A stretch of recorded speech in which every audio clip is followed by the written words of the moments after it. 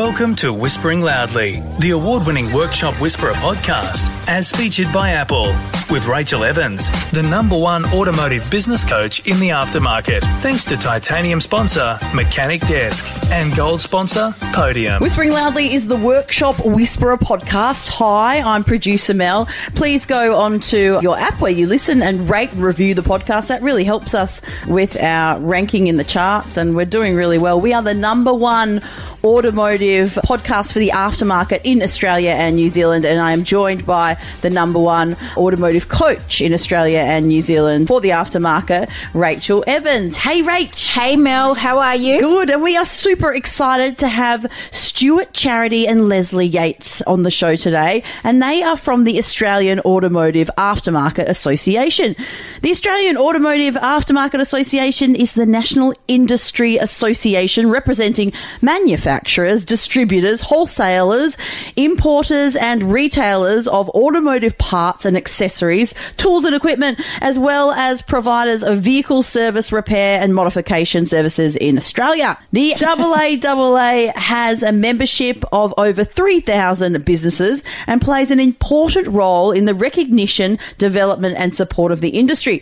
It also acts as the voice of industry to government and has a track record of successful campaigning and influencing government policy and programs to support and grow the industry. Thank you so much for joining the pod. So, why don't we start off by you each just giving us a quick rundown of the role that you have with the Australian Automotive Aftermarket Association? Lesley, would you like to go first? Thank you, Rachael. What a pleasure to be here with you. I'm the Director of Government Relations and Advocacy, and it's a big title, isn't it? But effectively, job to talk to members, talk to government about things that, that we need them to do to support our industry. So lots of kind of pushing up issues saying this is important to us, it should be important to you too.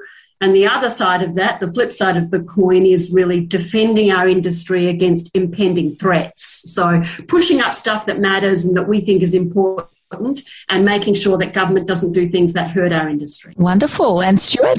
Yeah, thanks, Rachael. Great to be here and we really appreciate uh, the opportunity and, and, and your support of all those wonderful independent workshops out there. So, my role is uh, CEO, so I oversee the the operations of the AAA and, and, and really we're about providing a whole range of different support in different areas. Lesley uh, looks after government relations and advocacy, but obviously many of our members are small businesses, so we're uh, supporting them in a whole lot of different ways. We're looking into the future to see what's coming down the line uh, and providing market intelligence and information to help our members adjust and, and so on. And I've been in the role now for 15 years and, and, and just love what I do because, you know, our industry is made up of such talented and, and, and passionate and great people. And, you know, we want to do everything we can to help all of those businesses um, not only survive but prosper into the future. And what do you think the AAA makes possible for our independent auto repair shops? I think at our heart, our, our association is all about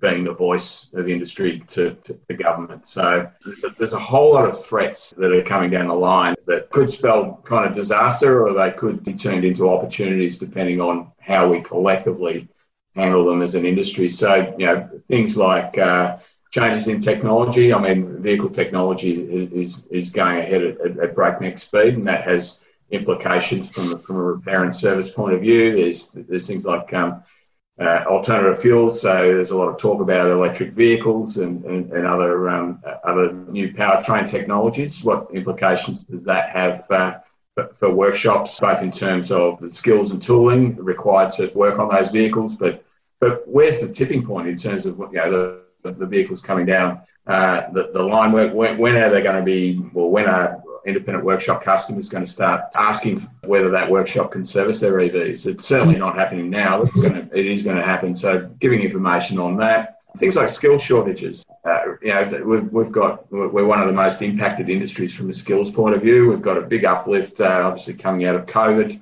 Um, in, in demand from, from customers, but we, we need those skills to be able to support uh, that, that, that growth in, in, in demand and, um, and we need new skill sets as well.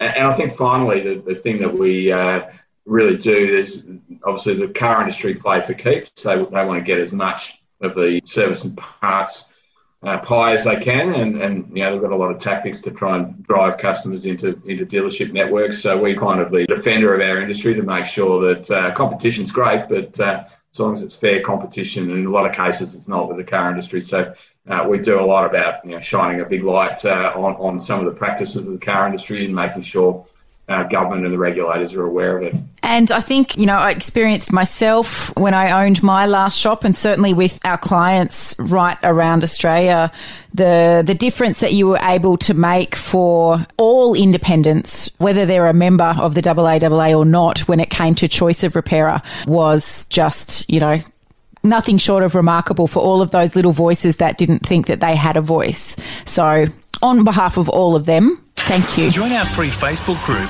Your Profitable Auto Repair Shop, and join in on the conversation with auto repair shop owners just like you globally. Let's talk about something that's quite topical at the moment because we are still uh, knees deep in a pandemic. How did you, as an association, fare with the onset of COVID and what for you in Melbourne was? Uh, quite a number of lockdowns. Were there some impacts there? Yeah, look, from, from a business point of view, I'll let um, uh, perhaps Lesley talk about how, how we kind of supported the industry through that. It was kind of the, the, the, the worst time of our life and probably the period that I'm, I'm most proud of. But as a business, particularly located in Melbourne, we had the, the dubious honour of being the most lockdown city in the world. So, uh, yeah, we, we pretty well were in and out of lockdowns for an 18 month period, and that, that creates challenges for for businesses. Obviously, we had to transition to the majority of our, our team working from home. We had to do that in a few days. Also, our association, a lot of our activity is, is, is based around bringing people together. You know, networking events, we do training, we do uh, our, our automotive expo and, and, and convention and so on. So we, we haven't been able to do that. So we had to look at new ways of how we bring the industry together. So webinars and, and, um, and other information uh, regular information. I think the first webinar we did uh, when, we were just the whole of Australia was going into lockdown in, in, in March of 2020. Uh, we, we had over 900 people on the webinar, and, and um, you know there was a lot of fear and uncertainty and, and so on. So just you know reassuring the industry that look, we've had to make a lot of adjustments to, to our business, but really it's all about realigning our, our activities and services to to make sure that we support those small businesses in, in what has been a uh, probably one of the most challenging periods in for anyone running businesses uh, in Australia in, in, our living memory. But Lesley and her team take a, a huge amount of the credit for, for the support that we, um, we, we offered up, particularly those uh, uh, independent workshops. We did some really some of the work that I think, uh, as with Stuart, that I'm the most proud of in supporting our, our members through that process. And for us, it was about getting good quality information out and to make sure that it was specific to our members. There's really no point, Rachael, us sending out lockdown instructions for hospitality. The government were releasing huge tranches that covered every single industry. So it's stage one, stage two, stage three, different levels, you know, 1A, 1B. And it wasn't really the job of our members to go through that table and work out whether you were in this column or this column. So the for us, we just we had our mobile numbers out. We were working on weekends. We were sometimes on a call between ourselves at five, six in the morning just to go through the tables, double check that we had the right impression, and mm. then just the members the bit that they needed to know. So don't don't go through the whole website yourself. We've done it. Here's you, the information that's just about you, whether you're retail, are you selling parts, are you servicing vehicles, which state are you in, are you rural or regional, just making sure when anything changed, we put that back out again. And oh, that Rachael, the feedback was unbelievable. So many. Yeah. Thank you so much. We stopped checking all those government hyperlinks. We just waited for yours to come in, and that's what we relied upon. So I think that was our great value add. And as Stuart says too, I think the webinars were, were wonderful because it was just this sense that we're all in it together. I know mm. not everyone is locked as Melbourne, but everyone suffered, and we're all in this as an industry trying to support each other. I would agree with that. It's no accident that our industry was you know, able to stay open in, in some way, shape, or form in every state and territory uh, through through every different level of lockdown, even if it was at, at times for only emergency repair and maintenance. So we did a lot of Lesley and her team did a lot of lobbying uh, very early on to make sure that government recognised the, the importance of uh, our, industry, both from a repair and service point of view and then the supply chain of parts and accessories to the industry. So, you know, by and large, we, we there's no doubt that the industry was impacted and, and impacted heavily, but we, we, certainly fared a lot better than many other industry sectors, and we were able to obviously bounce out of those lockdowns um, very strongly. So, you know, for, for a for an industry that's made up predominantly of, of, of small family-owned businesses, you know, I think pretty well all of them survived, uh, or most of them survived through the, the, the, the COVID uh, couple of years, which I think is a great achievement. And I think, you know, just to speak to some of the independent shops, you know, waiting for your advice because everything else that was coming out was so confusing and jumbled. I can speak to that in our Facebook group, Your Profitable Auto Repair Shop. There's, you know, three and a half, four thousand shop owners in there. And I know that every time somewhere went into lockdown, you know, somebody would say, do you know if we're allowed to operate? And, you know, a comment would come in soon thereafter. Uh, let's wait for the AAA. So, you know, definitely had real world implications and because of your work, I know, like in our own client base, some of our clients for last financial year had their best trading year on record because they were allowed to stay open. So, what you were able to do had massive, massive implications. Take a smoke out and review us on your Apple Podcast app or wherever you listen now that we're, well, what we hope is a safer space now that we've had vaccine rollout and borders are open and people will start hopefully being able to travel around again. What do you think as an industry you would say are the positives or opportunities moving forward for our businesses? And what lessons have you learned at the AAA from this pandemic experience? I think there are lessons for all of us. I mean, you kind of hope so, wouldn't you, Rachael? Uh, I love that never waste a crisis. Mm. So hopefully something about ourselves, our resilience as humans, but also ourselves as businesses.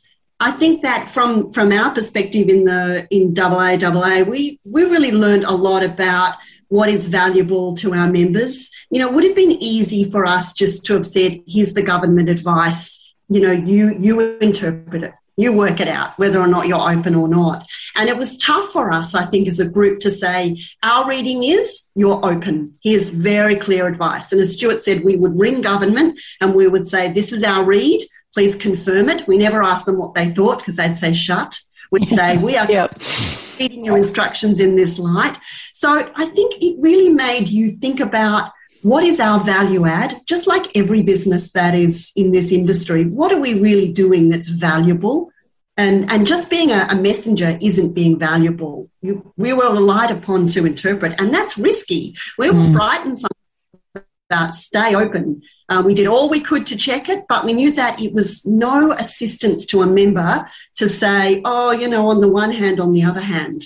So mm. I think it shows you about what is a value add service. What are we really doing for members? And what mm. would I want I was in a workshop in, in Newcastle or Adelaide or Perth or in, in inner city Melbourne. What do I really want from you? So I think that taught us a bit of a lesson. Mm. Um, I think we learned is that, you know, it's kind of soft skill to be supporting each other but how much people valued that. Mm. And look at that whole we want to shop local, support our local businesses. And I think if there are lessons going forward for our members, it's it is about that the local community, engaging with the local community, leveraging that, and, and, marketing as we are your local business and we want to stay open and we want to be supporting you. Because in some instances, those of us who were locked in our own lounge rooms, they were the only people we were talking to on a regular basis. You know, mm. the, to the mechanic when I booked my vehicle in. Um, that might have been the only other interaction I had with a human in 24 hours. So I think that sense of connectedness we've got to carry forward. Yeah, amazing, really, when you sit back and think about what a health crisis has actually brought to our lives and, and the, the ways that it's changed it, impacted it. So much change, but not all of it bad. Some of it, you know, on the humankind side, heartwarming. I think too, it was great to see how how quickly the the industry innovated as well. So things mm. like contactless pickup and delivery. A, a, lot of businesses implemented online booking platforms and and other things. They they sanitized vehicles and, and made sure that uh, they were protecting the know, the health and safety of their uh, employees and their customers. So the industry did respond very very quickly and and um, and innovate as well. And and often that sort of best practice was shared amongst you know, groups of workshops and, and, and the word got out. So yeah, that that's no mean feat. Again, to get so many small independent businesses uh, all, all, innovating very quickly and, and, and changing to, to suit the circumstances. And we will need to be a bit more nimble going forward because things are changing pretty quickly in other areas. So I think mm. if we can take that, that sort of innovative approach to, to business going forward, I think it will um, uh, serve the industry well. And I think when it came to even just small innovations, even around sanitizing customers' vehicles, I think some of some of our clients stood back and went, "Why haven't we been doing this the whole time?" When we wiped a you know a sanitizing wipe over the uh, the dash and the steering wheel, they came out black, and we've been touching this for years. I think it was a real eye opener. So I know that stuff is here to stay. Let's have a chat about the AAA Expo, which we're excited is hopefully going to go ahead in April of 2022, so not too far away. For our listeners that may not have experienced an expo, what would you like to let them know? Yeah, we're, we're really, really excited about it. Normally, the expo is every two years because of the restrictions. Um, it will be three years since our last expo, so which was 2019, but it it feels like about 13 years, I've got to say. But uh, yeah, for those that, that haven't attended before, uh, it will be from the 7th of 9th of April at the Melbourne Exhibition and Convention Centre.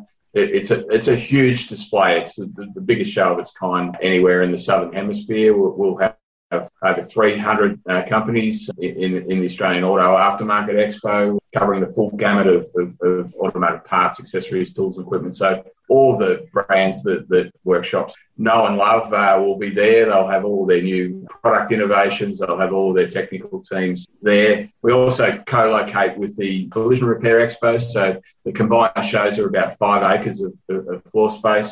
Uh, it runs over three days, uh, and um, a big part of it is obviously the, the exhibition itself and, and, and the new products and, and all the information that goes along with that. But we also value add with a whole lot of other activities that, that, that happen in and around the show. So we have a, a very comprehensive seminar and education program, and Rachael, you'll be presenting as part of that, as you have done in, previous expos, but a whole range of issues around you know technology, EVs, mandatory data sharing, skills shortages, and, and so on. We'll be covering all of those key topics uh, that, that, are on workshops' minds. As I said earlier in the in the podcast, yeah, we, we think this is a really pivotal time in the evolution of the industry, and, and businesses are going to have to start making decisions about how they position their business moving forward. So, the theme this year is around the workshop of the future is here. We're not talking when we're talking about workshop of the future. We're not talking you know, flying cars and 30 years uh, into the future. We're talking about what's happening with vehicle technology and its implications now and in the next few years. So things like mandatory data sharing. What does that all mean? Uh, yes, we've got a law through, but from a practical sense, what information you're you going to be able to get, how are you going to get it, what tools and skills do you need, when's it going to be coming, and so on. So there's a whole lot of questions around that that we'll be able to answer by, you know, in April, we'll only be two and a half months away from the, the 1st of July, which is when the mandatory data sharing law comes into effect. So we'll be having a lot of information about that.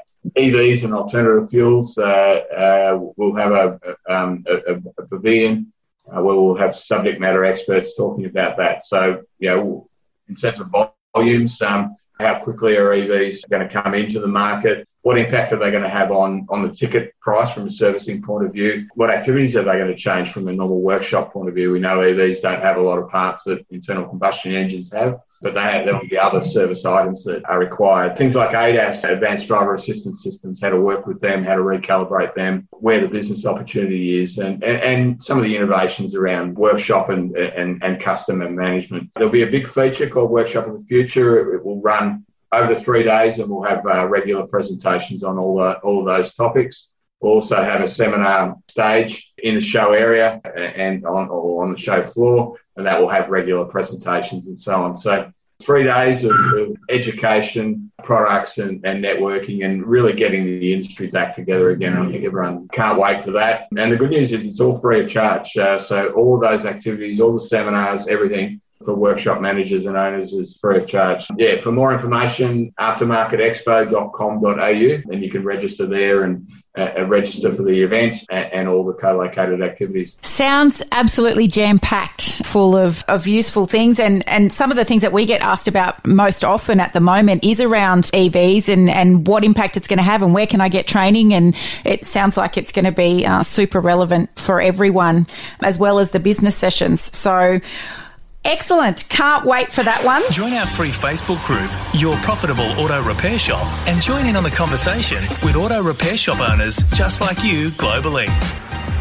Finally, guys, moving out of COVID, what advice do you have for our businesses stepping back into normal trading after what has been an absolutely unhinged period for everyone? I think there are a few things going forward, Rachael. I think the comment that you made earlier about the sanitising of the steering wheel and the you get when you wipe that down. Uh, as someone who frequently uses hand cream at the traffic lights, I fully understand that. um, so I do think we have to think about what what things that we put in place during COVID that we want to continue. So a workshop conversation about these are the things that we, we're going to run forward. I think some consumers did like contactless. I think it's worthwhile thinking about that. Which consumers just want to drop their key off and, and pick it up without necessarily speaking to someone on a person to person? So, are there COVID practices that are good to go forward because they give the consumers some confidence and it just fits their style?